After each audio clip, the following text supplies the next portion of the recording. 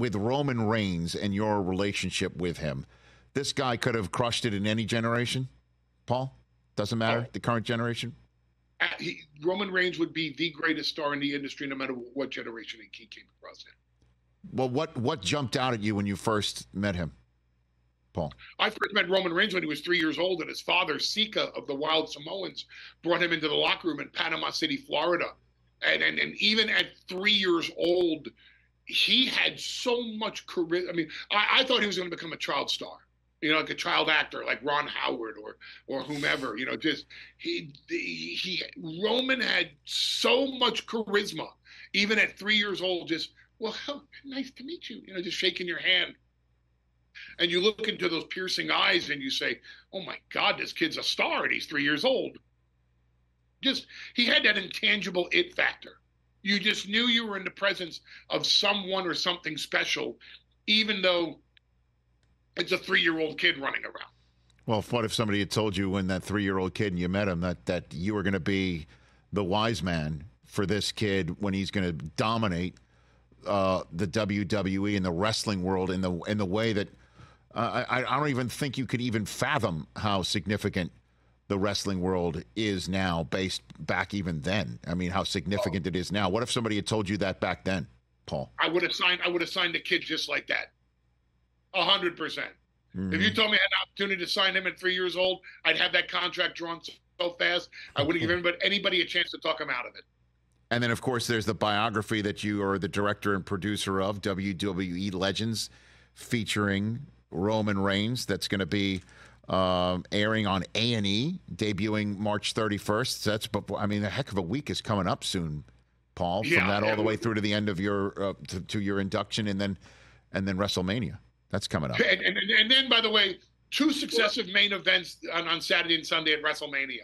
It, yeah, it, it, happens to be a little bit of a busy week for us. Um, the the biography of Roman Reigns is an interesting situation because it speaks to the persona and the character of of, of Joe Anoa'i, who is Roman Reigns. Um, because when they approached us, he did not want it to be like like any other A and E biography.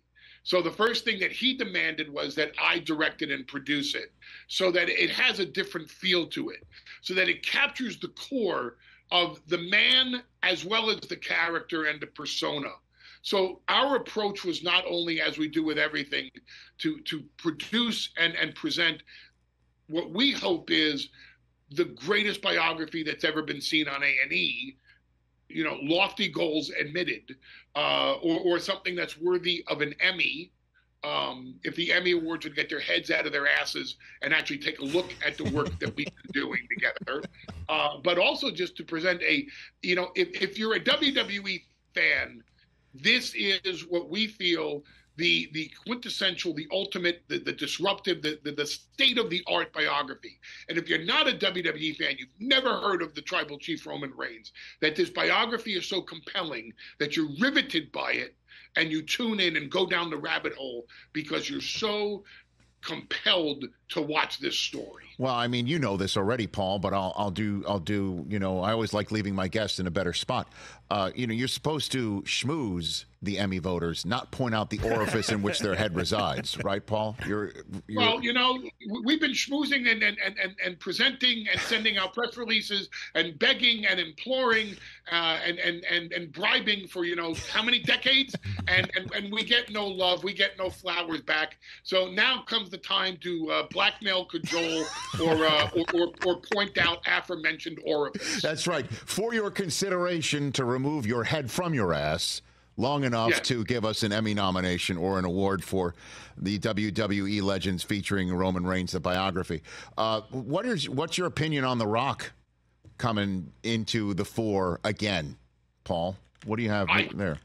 The, the most brilliant move Dwayne Johnson has has has ever made is to uh, is is to jump on this uh, runaway train of success that all started in August 2020 when Roman Reigns had an opportunity to come back as the tribal chief and lift sports entertainment itself, the entire industry, out of the pandemic into unfathomable heights to where WWE is part of a $21 billion merger with UFC and and and uh, Endeavor, uh, you know, creating TKO Holdings Group, um, and and The Rock sees the success, and The Rock sees the the the global enormity of the success of WWE, led by Roman Reigns. And The Rock now brings his considerable star power and his team and his efforts uh, and and and and all that goes with being Dwayne the Rock Johnson, the single biggest box office attraction in movies today, to WWE. To me, it's yet another merger. Just like WWE and UFC, it's now the Roman Reigns led WWE product and all that comes with The Rock and being the biggest movie star in the world. And you merge those two universes, and now you have a multiverse. Catch the Rich Eisen show every single day on the Roku channel, 12 to 3 Eastern, for free.